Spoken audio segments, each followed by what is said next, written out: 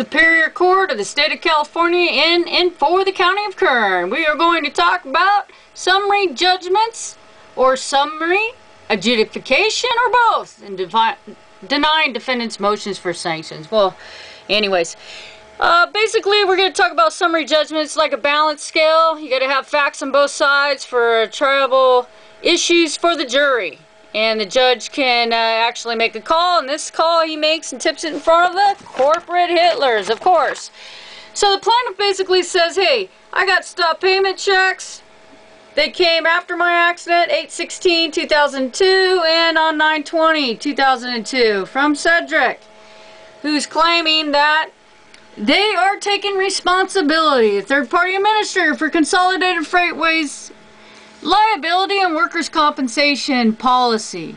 Well, the problem here is that Consolidated Freightways had their self-insured industrial relations self-insured plan revoked. So their certificate was revoked in 1996. So they were not self-insured. And if they were, then Sedgwick could be administrating funds for Consolidated Freightways. They would go ahead and put up money, like Sedgwick claims here, and Sedgwick would go ahead and uh, disperse them. But instead, the corporate Hitler declares bankruptcy, and I get some 23,000 total for injuries when I have 300,000 in medical bills. And you're supposed to take one's wages. I was making 85,000 a year plus my health and pension, which would have been about 7.8 million, into consideration. But no, not when they they they pull these little stunts.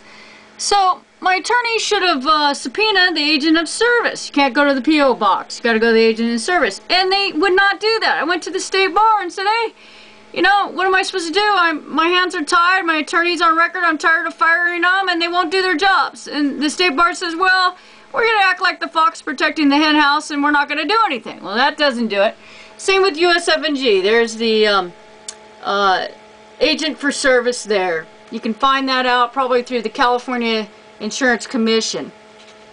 And then the, the defense simply says, hey, come on, you know, we got insurance. Look, we're showing you a workers' compensation policy. We even have a signature. The problem is it's not authenticated. And an authenticated means you have to say, I declare under penalty of perjury in the state of California, blah, blah, blah, that, uh, you know, this policy's true and, and they, you know, blah, blah. But instead, USF&G writes me a letter and says, no, guess what, Laura, April 1st, 2001, we terminated the policy and Sedgwick took over, which is exactly what the memos say. From this period, 1001 October 1st, 2001 to October 1st, 2002, of course it was terminated because we got the bounce checks. Remember? 8 16 2002 and 920 and Sedgwick's taking responsibility so we know there's fraud going on but anyways, so you put in a, a cause of action for fraud, right? But guess what? Here's the summary judgment. Here's the balance scale for the jury. Yet the judge tips the scale in favor of the defense counsel's lawyer siding with corporate corruption.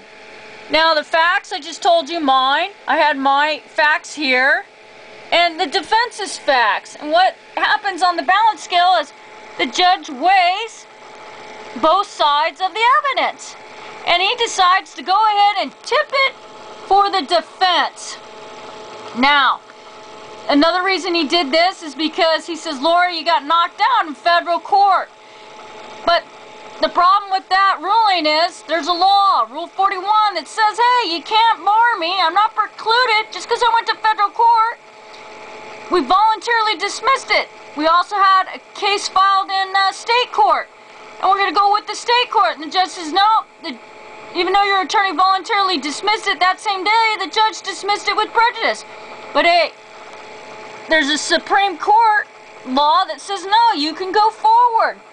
And this Semtek versus Lockheed Martin, 2001, said, yeah, go ahead. Because you, you never had your case heard on the merits. And even though you appealed to the Ninth Circuit, doesn't matter because it was never heard. It wasn't uh, timely filed. And you won on your fifth appellate. They said, yeah, we agree with this uh, Rule 41, and uh, her case wasn't heard on the merits, and the judge prejudiced her. That's why she had to go to federal court and appeal after the second lift to stay in the bankruptcy. So anyways, that's the uh, summary judgment and the uh, balancing of facts. And it's like a balance scale. And this is something we need to write our Congress members and figure out a way how we're going to stop this. One is the state bar's got to do something, and these judges got to stop what they're doing, and they keep doing it, and they're not supposed to. If there's facts and they're triable, then you're supposed to go to a jury, and this is where they're blocking us. He's just saying, "Oh no, you don't, you don't have enough um, factual evidence." The hell I don't. It would have been one in my favor if you can get it to a jury, and that's why you want to get on these juries and grand juries to fry these corporate Hitlers because uh, they're terrorizing the injured